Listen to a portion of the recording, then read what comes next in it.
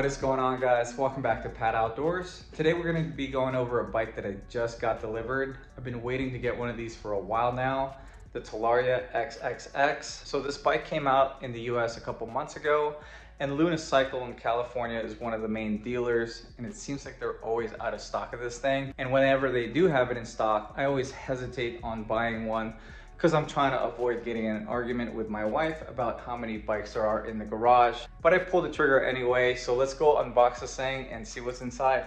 Now you might notice that the top of the box is already partially opened, and that's because I had to inspect this thing for damages upon delivery. Unfortunately, Luna Cycle only gave me the option of choosing FedEx to get this thing shipped from California to Virginia, and of course FedEx botched the delivery.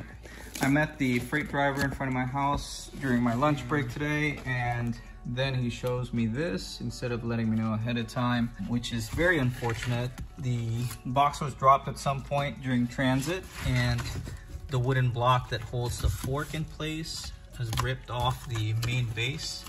So this bike has just been jiggling around in there. Handle with care Thank you, FedEx. He gave me the option of rejecting the package and then waiting for another one later on, but I'm way too excited to ride this thing, so I accepted it anyway.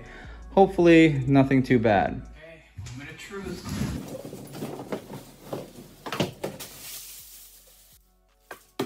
The back looks like it's perfectly fine and centered.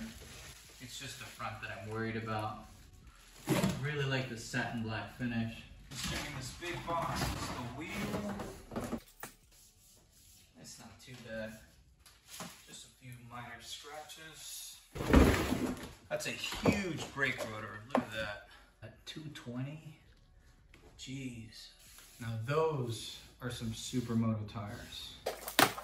Looks like a pair of pegs. Feels like a toolkit. Key tags. I guess those are the new keys the front portion of the headset to lock the handlebar in place. And it looks like the bushings that go on the side of the wheel with an O-ring on it. It works just like a dirt bike. Wow, that thing looks cool. It's got a heat sink on top with a built-in fan. I have not seen that on a charger. Here's a charge port. Looks like it only goes one way. I'm gonna let this charge for a couple hours and then we'll hop back on it and assemble it, take it out. All right, well, it's been six hours, so I'm sure this thing is fully, fully charged. Pretty straightforward. You just insert and twist clockwise to lock it in place and then counterclockwise to unlock it. Take this front strap off. Huh, I think that's how it's supposed to be. The fork is designed very much like a full-size dirt bike where there's four Allen bolts pinching clamps on both sides to hold the axle in place. I really like that design. Looks like a four millimeter Allen bolt. It's an eight millimeter Allen for the main axle. Cap off the other side.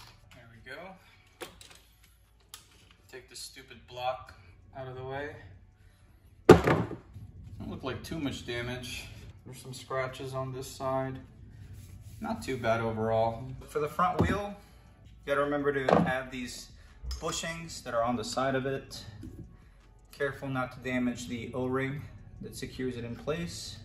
Then next you gotta take out the black plate that keeps the brake pads separated and then putting the wheel on is pretty straightforward. I would initially focus on aligning the brake rotor in between the two brake pads in the caliper. And everything will essentially line up on its own.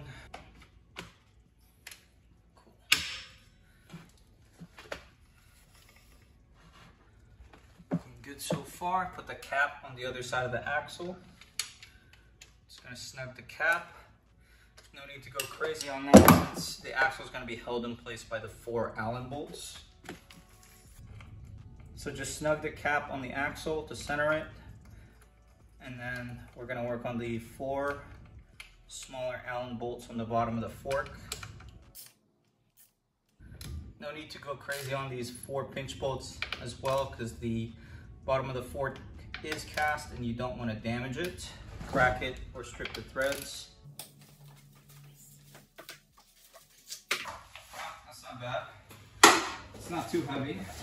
I guess at 125 pounds, makes this thing just a smidge heavier than my Razor. A lot of people complain about how small this bike is.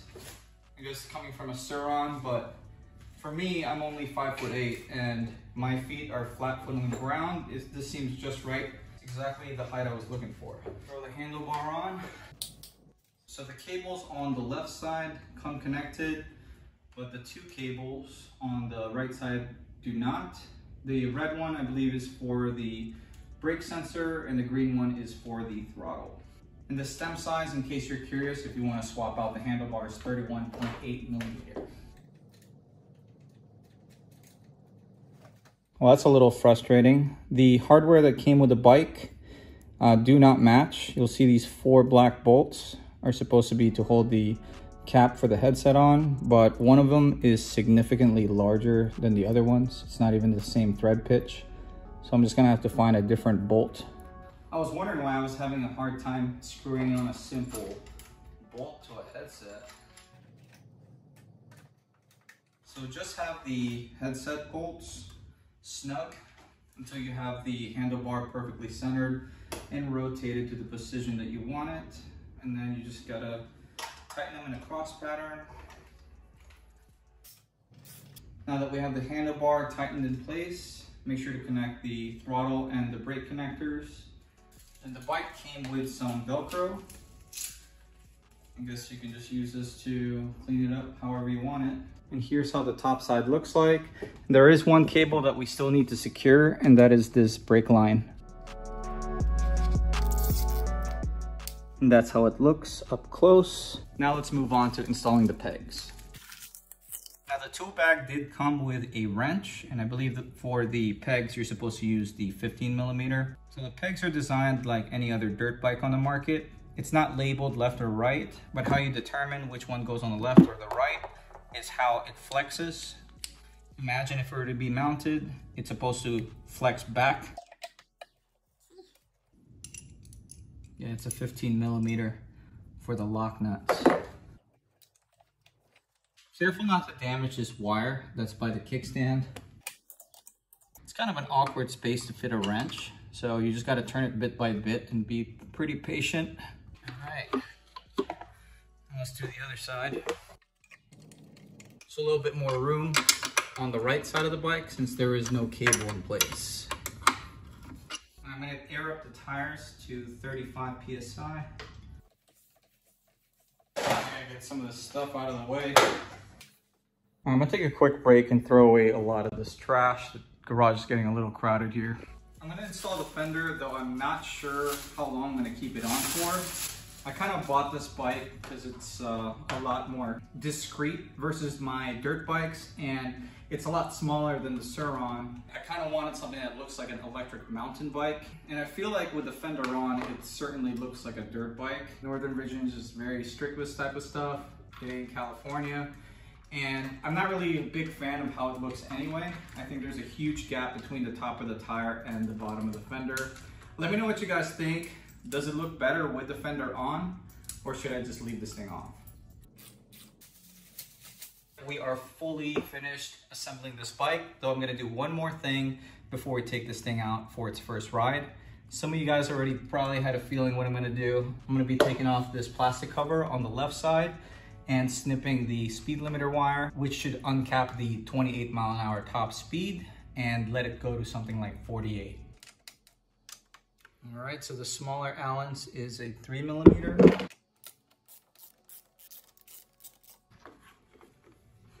Here for the charge cable.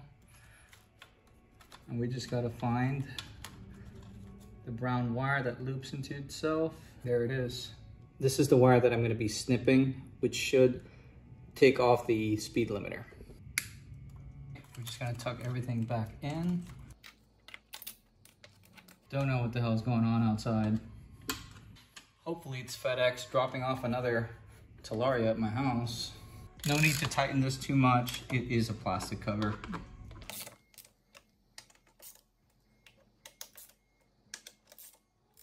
Turn it on. Yeah, yeah. RFID. Oh, the headlights are on. All right, first ride in this thing. Start button. Yeah. Gonna skip eco and go straight to sport. She's gonna come up right away. Oh!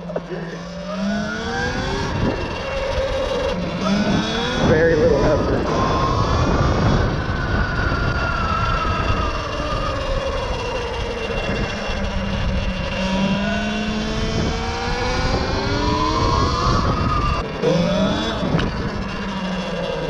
Oh my god, dude, this thing's so much fun. You try? Yes. Dude, it's pretty fast, man. All right, I'll do I'll do a quick race with them. Oh yeah, we got it, boys. You like it? Yeah, it's nice, man. It's got good pickup. I think it'll be faster than the Grom for sure. Yeah, you can definitely wheelie it if you're not focused. Right. Why Just don't loop it on the first day. You'll need to upgrade over the winter. Because we're close, but when I get the third motor put in, Oh it'll, shit. it'll, it'll edge you out.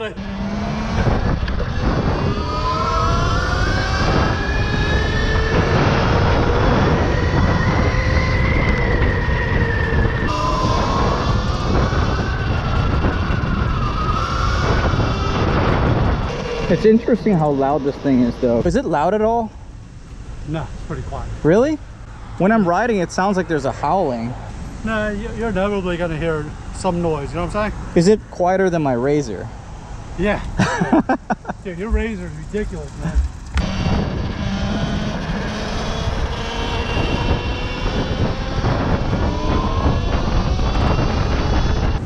So that's how you change the settings. Unit.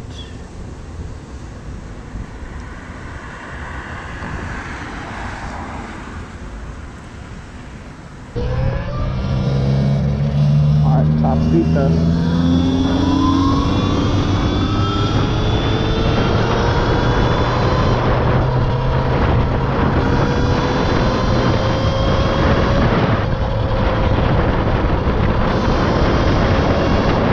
M6 is going too slow.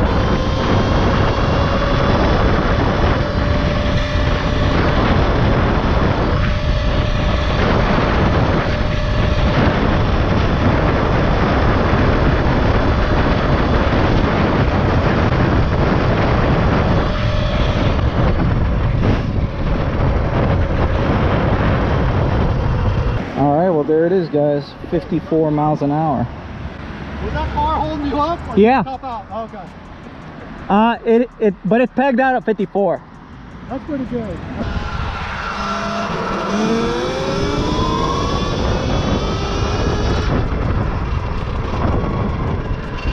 Damn, the regen on this thing is ridiculously strong though. I definitely have to turn that down.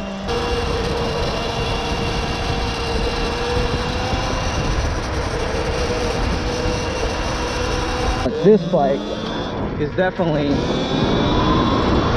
freaking beast at it.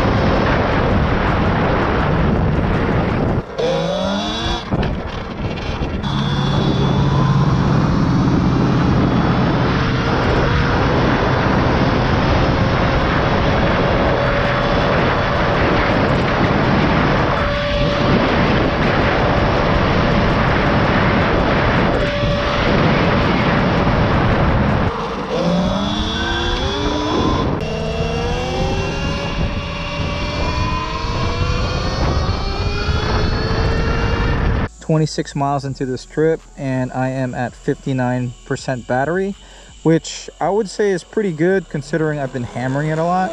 And I've been in sport for majority of this. Occasionally, I would switch to eco, but good thing I brought the charger with me because I really didn't discuss this route with Juan and Anthony, so I got no idea how many miles we're actually riding tonight, but we are testing the range, I guess. This place is pretty beautiful.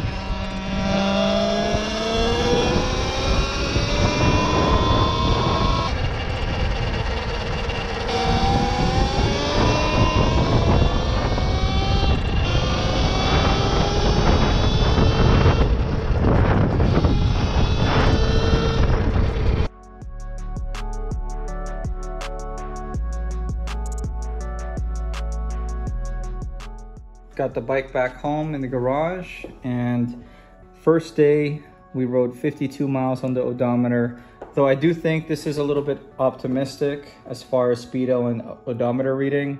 The GPS that my buddy was using was saying that we rode about 48 miles today so there's a little bit of a difference. It does say we have 8% battery life left. That's just about what I expected as far as um, battery life since I've been mashing the throttle all day on this thing can't really blame me though. I'm just super excited to have this new bike. Man, I got so much range anxiety today from this thing flashing at me for the last 45 minutes though. So that was a little bit frustrating. I also want to get to know this uh, menu a little bit better. I haven't had a chance to toggle through the menu or any of the settings so we'll dig more into that if you enjoyed today's video do me a favor and hit that like button if you like this kind of content want to keep up with my talaria or any of my other projects, consider subscribing to this channel. But this is going to be it for today. Thank you for watching.